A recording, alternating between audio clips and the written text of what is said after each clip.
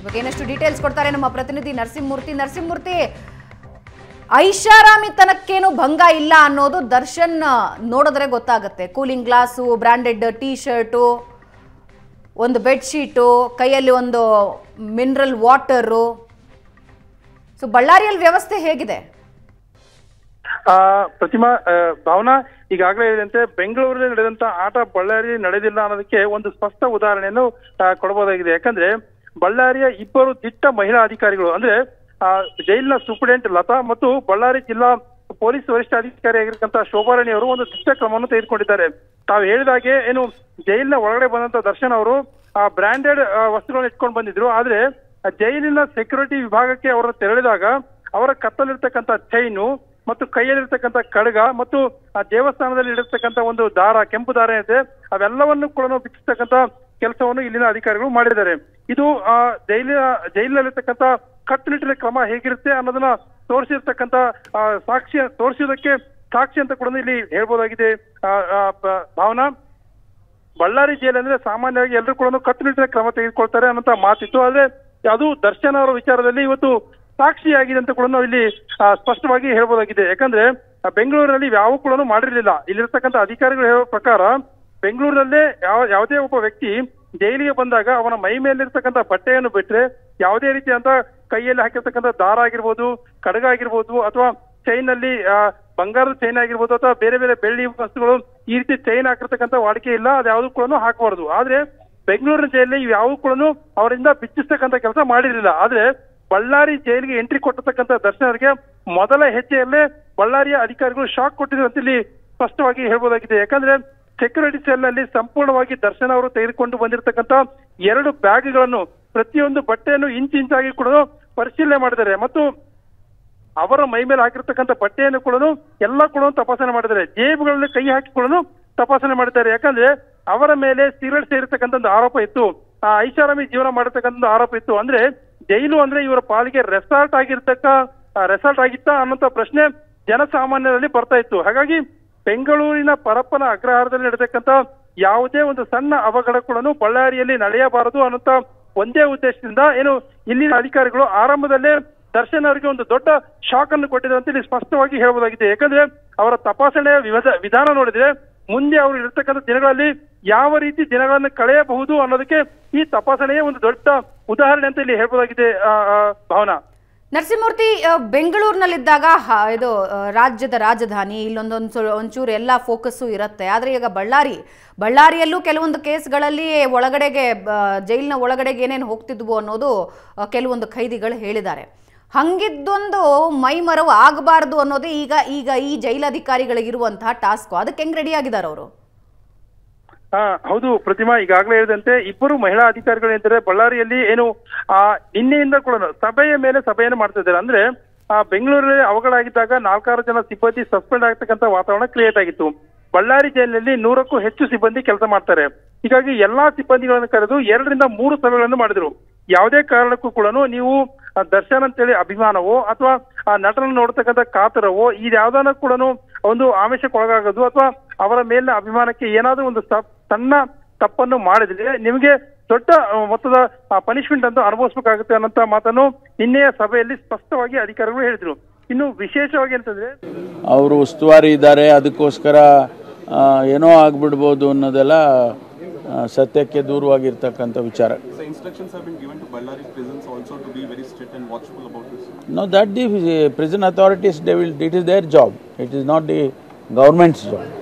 You know, we will generally we will give instructions to take care all this, but uh, all the nitty-gritty things they will decide. Uh, they will have to take uh, you know responsibility and uh, take care. Hopefully there will be no lapses in Ballari. Yes, that is what we are hoping. You know. ಸಿಎಂದು ಇವತ್ತು prosecution ಇದೆ sir. ಇವತ್ತು ಕೋರ್ಟಲ್ಲಿ ವಿಚಾರಣೆ ಕೂಡ ನಡೆಯುತ್ತೆ. ಏನು ತೀರ್ಮಾನ ಬರುತ್ತೆ ಕಾದು ನೋಡೋಣ. ನಾನು ಈಗ ಯಾವುದನ್ನು ಸ್ಪೆಕ್ಯುಲೇಟ್ ಮಾಡೋಕ್ಕೆ ಹೋಗೋದಿಲ್ಲ. ಕಾನೂನಿನ ಚೌಕಟ್ಟಿನಲ್ಲಿ ಏನು ತೀರ್ಮಾನ ಬರುತ್ತೆ ಅದನ್ನು ಕಾಯ್ದು ನೋಡ್ತೇವೆ. ಅದನ್ನಾದ್ಮೇಲೆ ಮುಂದಿನ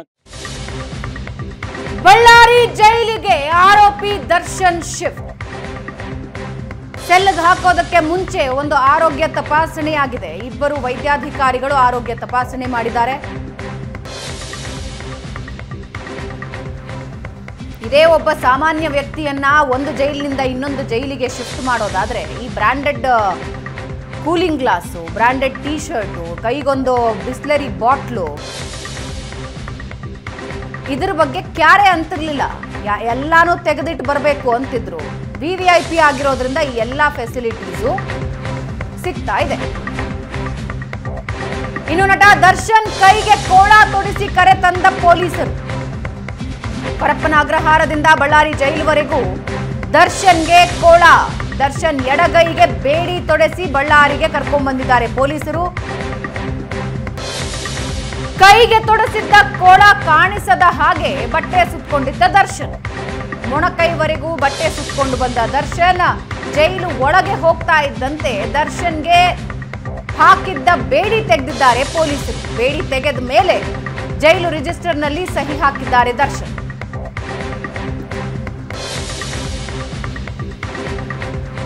ಕೈಗೆ ತೊಡಿಸಿದ್ದ ಕೋಳ ಕಾಣಿಸದಂತೆ ಬಟ್ಟೆ ಸುತ್ತಕೊಂಡಿದ್ದ ದರ್ಶನ್.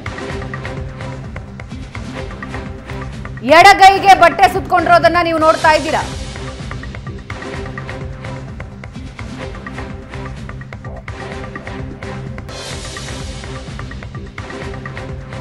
ಬಟ್ ಐಷಾರಾಮಿತನಕ್ಕೆ ಭಂಗ ಇಲ್ಲ.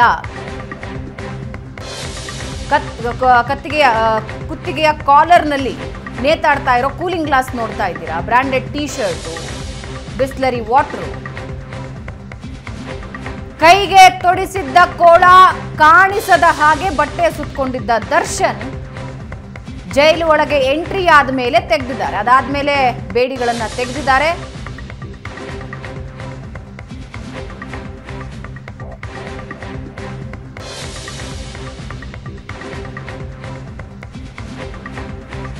ಪರಪ್ಪನ ಅಗ್ರಹಾರದಿಂದ ಬಳ್ಳಾರಿವರೆಗೆ ಕೈಗೆ ಕೋಳ ಹಾಕೊಂಡು ಕರ್ಕೊಂಡ್ ಬಂದಿದ್ದಾರೆ ಪೊಲೀಸರು.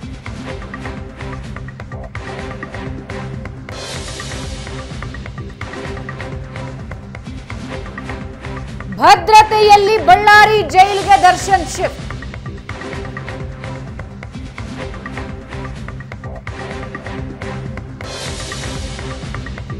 ದರ್ಶನ್ನ ಎಡಗೈಗೆ ಬೇಡಿ ತೊಡಿಸಿ. ಜೈಲಿಗೆ ಕರ್ಕೊಂಡು ಬರಲಾಯಿತು.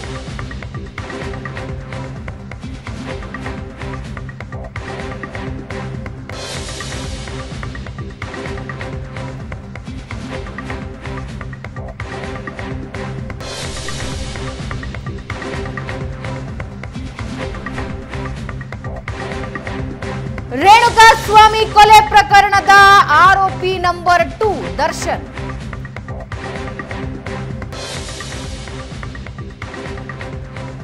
ಇವಾಗ ಏನಷ್ಟು ಡೀಟೇಲ್ಸ್ ಕೊಡ್ತಾರೆ ನಮ್ಮ ಪ್ರತಿನಿಧಿ ನರಸಿಂಹಮೂರ್ತಿ ಲೈವ್ನಲ್ಲಿ ಜಾಯ್ನ್ ಆಗ್ತಿದ್ದಾರೆ. ನರಸಿಂಹಮೂರ್ತಿ ಕೈಗೆ ಕೊಳ ತೊಡಿಸಿದ್ದು ಹೌದಾ? ಅದನ್ನ ಕವರ್ ಮಾಡ್ಕೊಳ್ಳೋದಕ್ಕೆ ಈ ರೀತಿ ಬಟ್ಟೆ ಸುತ್ಕೊಂಡಿದ್ದ? ಹೌದು ಭವನ, ಈಗಾಗಲೇ ಅದು ಅಸ್ಪಷ್ಟವಾದಂತ ಮಾಹಿತಿ ಇದೆ. ಯಾಕಂದ್ರೆ ಅವರು ಫುಲ್ ತೋಳಿನ ಹಾಫ್ ಟಿ ಶರ್ಟ್ ಹಾಕಿದ್ರು ಕೂಡ ಕೈಗೊಂದು ಬಟ್ಟೆ ಕಟ್ಕೊಂಡಿದ್ರು, ಅಲ್ಲಿ ಕೈಕೋಳ ಹಾಕಿದ್ರು ಅನ್ನೋಂತ ಮಾಹಿತಿ ಇದೀಗ ಲಭ್ಯವಾಗ್ತಾ ಇದೆ. ಅದ್ರ ಬಗ್ಗೆ ಆ ಸ್ಪಷ್ಟತೆಯನ್ನು ಕೂಡ ಯಾವ ಪೊಲೀಸರು ಇಲ್ಲಿ ನೀಡ್ತಾ ಇಲ್ಲ. ಹೀಗಾಗಿ, ಆ, ಬೆಂಗಳೂರಿಂದ ಬರ್ಬೇಕಾದ್ರೆ ದರ್ಶನ್ ಅವ್ರಿಗೆ ಕೈಕೋಳ ಹಾಕಿದ್ರ ಅನ್ನೋಂತ ಅನುಮಾನ ಇದೀಗ ಹೆಚ್ಚು ಹೆಚ್ಚು ಕಾಡ್ತಾ ಇದೆ. ಆದ್ರೆ ಸೆಕ್ಯೂರಿಟಿ ರೂಮ್ ಅಲ್ಲಿ ಹೋದ ತಕ್ಷಣ ಅದೆಲ್ಲವೂ ಕೂಡ ಬಿಚ್ಚಿಸಲಾಗಿದೆ ಅನ್ನೋಂತ ಮಾಹಿತಿ ಲ- ಲಭ್ಯವಾಗ್ತಾ ಇದೆ ಭಾವನಾ.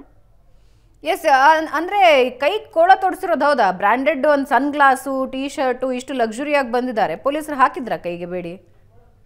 ಹೌದು ಪವನ, ಇದ್ರ ಬಗ್ಗೆ ಈಗೂ ಕೂಡ ಒಂದು ದೊಡ್ಡ ಚರ್ಚೆ ನಡೀತಿದೆ. ಆದ್ರೆ ಈ ಬಗ್ಗೆ, ಆ, ಕಾರಾಗೃಹದ ಇಲಾಖೆ ಅಧಿಕಾರಿಗಳು ಯಾವುದೇ ರೀತಿಯಂತ ಆ, ಸ್ಪಷ್ಟನೆಯನ್ನು ಕೊಡ್ತಾ ಇಲ್ಲ. ಯಾಕಂದ್ರೆ ಹಾಕಿರ್ತಕ್ಕಂತ ಹಾಫ್ ಟಿ ಶರ್ಟ್ ಇತ್ತು. ಆದ್ರೆ ಅದ್ರ ಕೈಗೆ ಒಂದು ಬಟ್ಟೆಯನ್ನು ಕೂಡ ಸುತ್ಕೊಂಡು ಬಂದಿರತಕ್ಕಂತ ದರ್ಶನ್ ಅವರ ನೋಡಿದ್ರೆ, ಎಲ್ಲ ಒಂದ್ ಕಡೆ ಒಂದು ಕೈಗೆ ಮಾತ್ರ, ಆ ಹ್ಯಾಂಡ್ ಕಪ್ ಅನ್ನು ಹಾಕಿದ್ರು ಅನ್ನೋಂತ ಅನುಮಾನ ಕಾಡ್ತಾ ಇದೆ. ಆದ್ರೆ ಇದ್ರ ಬಗ್ಗೆ ಮಾತ್ರ ಯಾವ ಅಧಿಕಾರಿಗಳನ್ನು ಸ್ಪಷ್ಟತೆಯನ್ನು ಕೊಡ್ತಾ ಇಲ್ಲ. ಆದ್ರೆ ಸೆಕ್ಯೂರಿಟಿ ರೂಮ್ಗೆ ಅಂದ್ರೆ, ಆ ಗಾಡಿಯಿಂದ ಇಳಿದು ಇಳಿದು ಸೆಕ್ಯೂರಿಟಿ ರೂಮ್ಗೆ ತಪಾಸಣೆಗೆ ಹೋದಂತ ವೇಳೆ ಅಲ್ಲೊಂದಿಷ್ಟು ತಪಾಸಣೆ ಮಾಡ್ತಾರೆ ಅಲ್ಲಿ ಆ ಹ್ಯಾಂಡ್ ಕಪ್ ಅನ್ನು ಬಿಚ್ಚಿದ್ದಾರೆ ಅನ್ನೋಂತ ಮಾತು ಕೂಡ ಈಗ ಕೇಳಿ ಬರ್ತಾ ಇದೆ ಭಾವನಾ.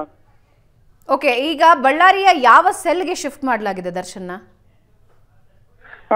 ಭಾವನಾ ಈಗಾಗಲೇ ಹೇಳಿದಂತೆ ಏನು ಬಳ್ಳಾರಿಯ ಏನು ಹೈ ಸೆಕ್ಯೂರಿಟಿ ಸೆಲ್ ಅಂತ ಏನು ಕರಿತೀವಿ ಅದು ಅಂತದ್ದು ಹದಿನಾರು ಸೆಲ್ಗಳು ಬಳ್ಳಾರಿಯಲ್ಲಿದ್ದಾವೆ. ಅಂದ್ರೆ ಆ, ವಿಶೇಷವಾದಂತ ಕೈದಿಗಳಾಗಿರ್ಬೋದು ವಿವಾದಾತ್ಮಕ ವ್ಯಕ್ತಿಗಳಾಗಿರ್ಬೋದು ಅಥವಾ ಈ ರೀತಿ ವಿ ಐ ಪಿ ಖೈದಿಗಳನ್ನ ಕೈದಿಗಳಿಗೆ ಜೊತೆ ಸಿಗಬಾರದು ಅನ್ನೋ ಉದ್ದೇಶದಿಂದ ಸಾಮಾನ್ಯ ಕೈದಿಗಳಿರ್ತಕ್ಕಂಥ ಏನು ಒಂಬತ್ತು ಡಾರ್ಮೆಟ್ರಿ ಹಾಲ್ಗಳಿದ್ದಾವೆ ಆ ಹಾಲ್ಗೂ ಮತ್ತು ಈ ಏನು ಹೈ ಸೆಕ್ಯೂರಿಟಿ ಸೆಲ್ಗಿದೆ ಅದಕ್ಕೂ ಇದಕ್ಕೂ ಬೇರೆ ಬೇರೆ ವಿಭಾಗಗಳಿದೆ ಅಂದ್ರೆ ಮಧ್ಯದಲ್ಲಿ ಒಂದು ದೊಡ್ಡ ತಡೆಗೋಡೆ ಇದೆ. ಅಲ್ಲಿರ್ತಕ್ಕಂಥವ್ರು ಇವರಿಗೆ ಗೊತ್ತಾಗಲ್ಲ ಇಲ್ಲಿರ್ತಕ್ಕಂಥದ್ದು ಅವರಿಗೆ ಗೊತ್ತಾಗಲ್ಲ. ಆ ರೀತಿಯಲ್ಲಿ ಆ ಹೈ ಸೆಕ್ಯೂರಿಟಿ ಸೆಲ್ಗಳಲ್ಲಿ ದರ್ಶನ ಅವರನ್ನು ಶಿಫ್ಟ್ ಮಾಡಲಾಗಿದೆ. ಆ, ಸದ್ಯ ಬಳ್ಳಾರಿಯಲ್ಲಿ ಆ- ಆ ರೀತಿಯ ಹದಿನಾರು ಸೆಲ್ಗಳಿದಾವೆ ಅಂದ್ರೆ ಹದಿನಾರು ಕೊಠಡಿಗಳ ಮಾದರಿಗಳಿದ್ದಾವೆ. ಅದಕ್ಕೆ ಒಂದೊಂದು ಕೊಠಡಿಗೂ ಪ್ರತ್ಯೇಕವಂತ ಏನು ವಾಶ್ರೂಮ್ ಜೊತೆಗಿರ್ತಕ್ಕಂಥ ಅಟ್ಯಾಚ್ಡ್ ಬಾತ್ರೂಮ್ ಇರ್ತಕ್ಕಂಥ ಆ, ಒಂದು ಸೆಕ್ಯೂರಿಟಿ ಸೆಲ್ ಏನಿದೆ, ಅಲ್ಲಿ ಇದೀಗ ದರ್ಶನ್ ಅವರ ವೈದ್ಯಕೀಯ ತಪಾಸಣೆ ಬಳಿಕ ನೇರವಾಗಿ ಇಲ್ಲಿರ್ತಕ್ಕಂಥ ಸುಪ್ರಿಡೆಂಟ್ ಅಂದ್ರೆ ಜೈಲಿನ ಸುಪ್ರಿಡೆಂಟ್ ಆಗಿರ್ಬೋದು ಎಸ್ ಪಿ ಆರ್ ಆಗಿರ್ಬೋದು ಇಬ್ಬರು ಕೂಡ ನೇತೃತ್ವದಲ್ಲಿ ನಲವತ್ತಕ್ಕೂ ಹೆಚ್ಚು ಜನ ಪೊಲೀಸ್ ಸಿಬ್ಬಂದಿ ನೇರವಾಗಿ ಅವ್ರನ್ನ ಕರೆದುಕೊಂಡು ಹೋಗಿ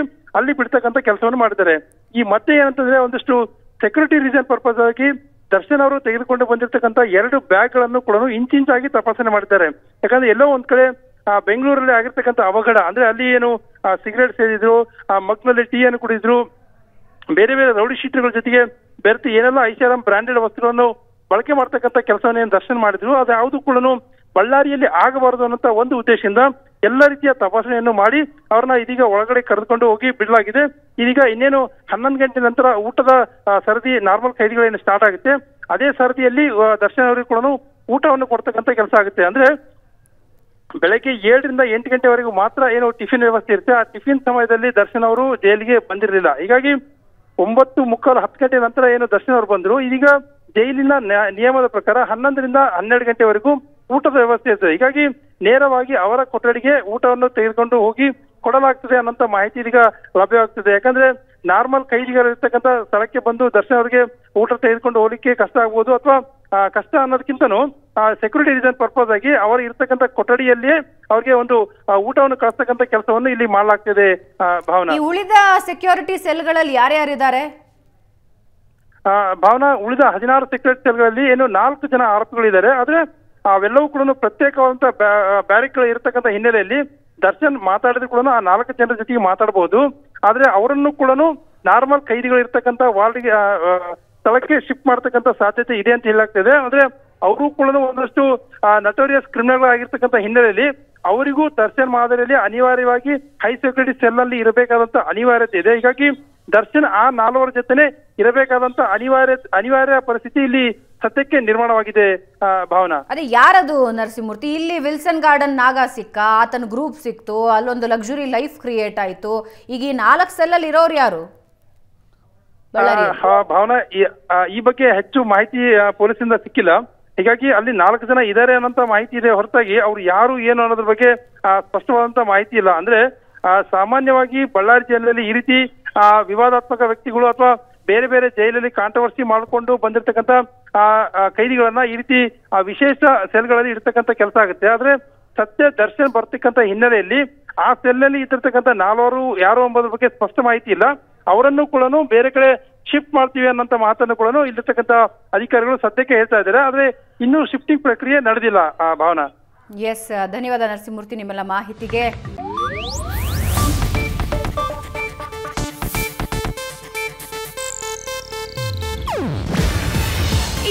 ಏಷ್ಯಾನೆಟ್ ನ್ಯೂಸ್ ನೆಟ್ವರ್ಕ್ ಪ್ರಸ್ತುತಿ.